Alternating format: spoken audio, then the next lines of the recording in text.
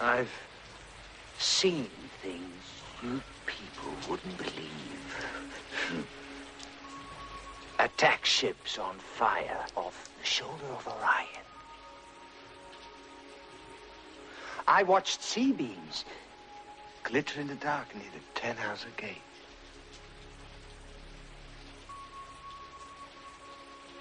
All those moments will be lost in time.